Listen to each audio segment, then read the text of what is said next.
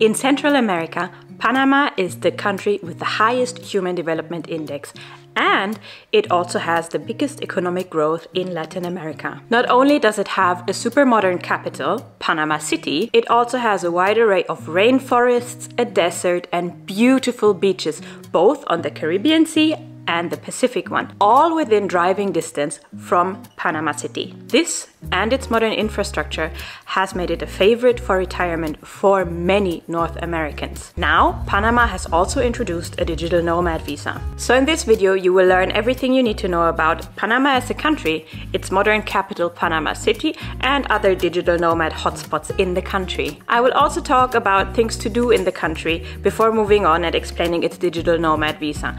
And if you stay to the end, I will compare it to the digital nomad visa of its neighbor, Costa Rica, and give you my thoughts on them. If you want to re-watch any parts of this video or jump right forward to the part of the digital nomad visa, you will find the time codes down below. They will take you right where you want to go. Hi, my name is Sara. I'm passionate about traveling and learning about other cultures. Here on this channel, I'm trying to provide you with everything you need to start a digital nomad lifestyle. If that sounds like you, please subscribe below and click the little notification bell. And now, with that said, let's get right into the video.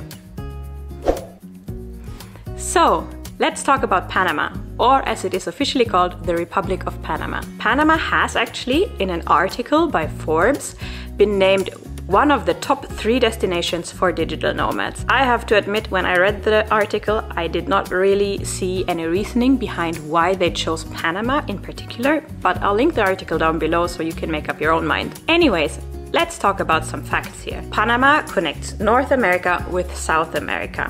It also calls itself Puente del Mundo, Corazón del Universo, which translates to Bridge of the World, Heart of the Universe. As you might have guessed from this, its official language is Spanish. It borders Costa Rica to the west, Colombia to the southeast, the Caribbean Sea to the north, and the Pacific Ocean to the south. This, by the way, makes it the only place in the world where you can see a sunrise in the Caribbean and a sunset in the Pacific. Due to its rich history, it is also a multicultural melting pot, which gives you a broad array of culture to explore. When it comes to climate, it is tropical, which basically means it is hot and humid. It has two seasons. One is the rainy season and one is the dry season. The rainy season is rather long, lasting from May to January, and then from January to May you will have a shorter dry season. Another interesting fact, particularly to people from the US, is its currency. Now, I've read in different places online that the currency of Panama is the US dollar. This is not true. Panama has its own currency, the Balboa. However, the Balboa is tied one to one to the US dollar, which means one US dollar will always equal one Balboa. For this reason, the Panamanians have not printed own bills, instead, they are using the dollar bill. However, they are using Balboa coins. In the supermarket or anywhere else, you might see the price in either Balboa or dollar, which doesn't matter because, again, the value is the same. Another good thing to know, which probably makes life a lot easier when you want to travel there, is to know that Panama is outside of the hurricane belt. So that is one less thing you need to worry about. So let's talk about some digital nomad essentials. For example, internet.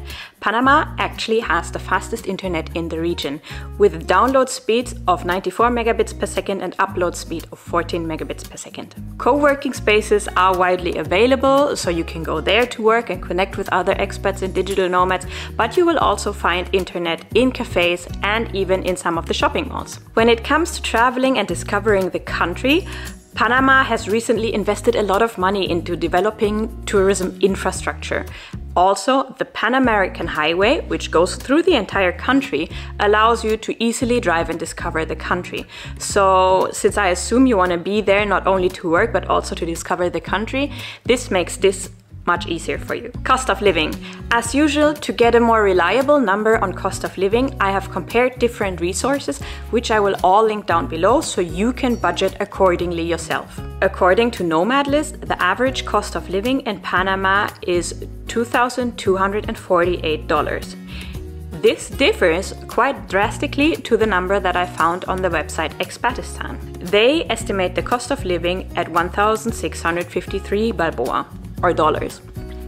This actually makes Panama the fourth most expensive country in Latin America to live in. Since these two numbers differ quite a bit, I would assume that it very much depends on A, the location that you choose. For example, Panama City will of course be more expensive than some other places that I will dive into in a little bit.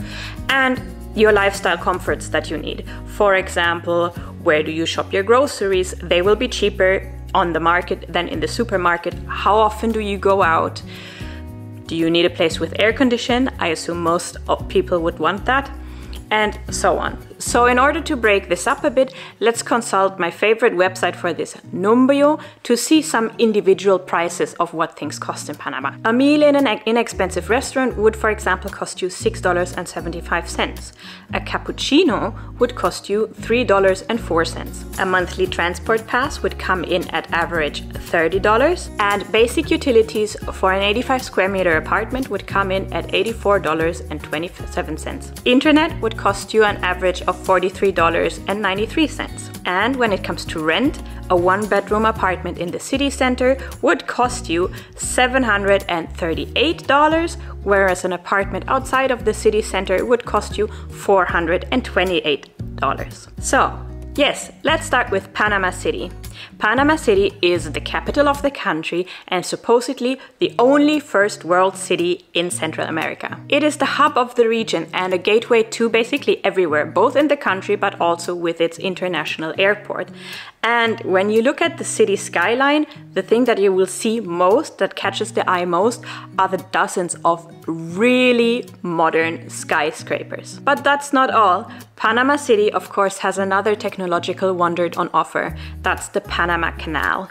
If you're interested in a bit of history, I recommend that you dig into it because it didn't go smoothly and the history around it is quite gruesome. Quite a lot of people died in process of building this.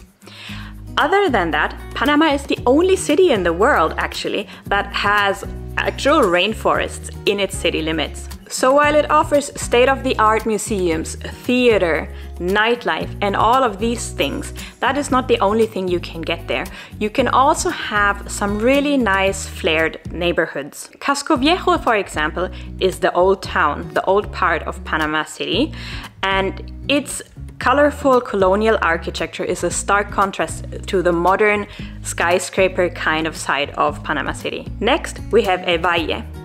El is a small city about two hours drive from Panama City and it is located in an extinct volcanic crater. It is a quiet town but has an active expat community, and its unique location is still very close to a lot of beautiful beaches. Next on the list, Coronado. Coronado is a trendy beach town that is about one hour from Panama City. It has a large expat group and a lot of trendy restaurants, shops, and things to do. Apparently, a lot of Panamanians have second houses there to spend some time at the beach. Next on the list, Boquete. Boquete is for you if you're not that much of a beach person, but you would really like to enjoy the outdoors. It's a little mountain town and it offers cooler weather. One fifth of its population, 5,000 people, are expats here, which makes it a really big expat community, with some of them having even opened, you know, their own shops and restaurants, so you can find a lot of different cultural influences here. Last but not least, Bocas del Toro. Bocas del Toro actually has a non-profit organization that helps expats and digital nomads find housing and find their way around in the area. I will link it down below in case you decide that that is your location, you know where to find some additional help. So what makes Bocas del Toro quite special is that it is a province that encompasses both parts of Panama the mainland as well as a chain of islands in the Caribbean Sea. So again, you know, a beautiful place for people who want to enjoy some water sports and the clear blue water. It is also home to tropical rainforest and some of the indigenous communities of the country. There are three main islands to Bocas del Toro, with the main one being Isla Colon. Isla Colon is the main hub of the area and the main town in it is Bocas town. A super special thing about Isla Colon is the Playa Estrella. The Playa Estrella is also called the Starfish Beach. Why? because you can actually go wade into the water and you will find hundreds of starfish in the water, just swimming there or lying there, what, whatever starfish do. Um, just please don't touch them. So let's talk about some things to do in Panama.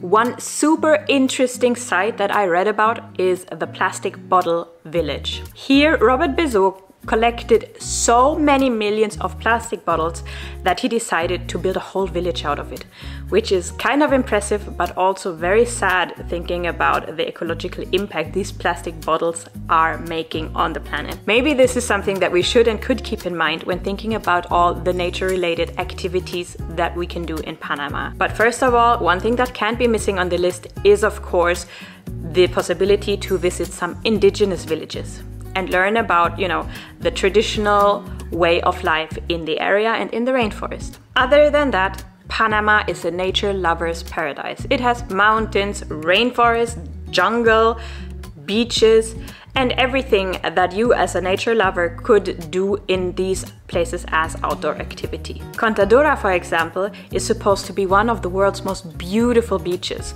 Here you can surf, scuba dive, snorkel, lie in the sun by the beach, whatever you enjoy. Furthermore, of course, you can take walks in the jungle, enjoy animal and bird, bird watching, hiking, rock climbing, you name it. So in order to give you some ideas, I'll introduce three national parks to you. The first one is Baru Volcano National Park. This is the highest point of the country and it is also a volcano. Baru Volcano is the 12th highest peak in Central America you know, for those of you that like a little bit of a hiking challenge. And it is also the only place in the world where on a cloudless day you can see both the Atlantic and the Pacific Ocean. Baru Volcano National Park is located in the province of Chiriquí, which has another super interesting thing to offer. It is home to geisha coffee. Because of the altitude and the super fertile organic soil, they grow one of the most expensive coffees in the world here. Next we have Darien National Park, which is A, a jungle, and B, the biggest protected area in Central America and the Caribbean. It is also the biggest national park in Panama. It has endless virgin rainforest, premontane and montane forest, cloud forest and dwarf forest, as well as large mangroves, and an array of unique wildlife including the jaguar and the harpy eagle. In fact, after the Amazon rainforests, Darien National Park is considered the most important natural lung in the Americas. Okay, so now that I've hopefully really sparked your interest in the country, let's talk about the digital nomad visa and its details. Let's get the first and biggest one out of the way right away. You must process the digital nomad visa application through an immigration lawyer in Panama. The duration is for nine months with the possibility to extend it for another nine months. If before your visa expires you decide that you would like to stay in Panama permanently, you can apply to one of the many other residency programs in Panama. Requirements You need to be a freelancer, a digital nomad, or a business owner with an annual income of at least $36,000. You're going to need a valid passport, health insurance, and a clear criminal record. So, let's talk about the process. You will have to make an appointment at a Panamanian embassy or consulate. So, if you don't have one in your country, you might have to go to a neighboring country to do so, where you have to show up in person to get the application. You will need the following required documents the application form that needs to be filled out, a valid passport, as I said, Panama requires your passport to be valid for three months from your entry date into the country. You will need to get the certificate for your health insurance that proves that you are insured in Panama. You will need a certified passport copy as well as three passport sized pictures. You will need a certificate of your clean criminal record you need to prove that you have enough funds to support yourself in Panama and return home. You will furthermore need a certificate of good health, which you can get at a hospital. And you will need an affidavit of non acceptance of any jobs in Panama, meaning a sworn statement that you are not planning to accept any jobs. If you are a business owner, you're not planning to provide your services to people in Panama. As usual, to not take any jobs out of the economy, but just support the economy through your income and your spending habits. And you will need to prove your annual income through bank slips, for example. Next, you will also need some papers that differ depending on if you are self-employed or if you are a remote worker that is employed by a company. So if you work for a company, you will need a letter signed by the legal representative of said company stating your job, your income, and what you are doing in your job. If you're self-employed, you must prove the existence of your company and bring a sworn declaration. This sworn declaration must include the business activities that you're engaged in, who your clients are, what services you offer, past revenue and projected revenue. Last but not least, you need to pay the fees. $250 to the National Immigration Agency and $50 for the visa card that you will receive. So the process, as far as I understand it, is the following. From your home country, you need to make an appointment with a Panamanian embassy, either in your country or in a neighboring country. You need to go there to get the application form. Then you need to fill in the application form and gather all your documents. With these, you will need to travel to Panama to meet an immigration lawyer who will double check that everything is in order and then send in your application, your visa application. You will then have to wait about 30 days for the application to be processed The benefits of the Panamanian digital nomad visa are that it is tax free.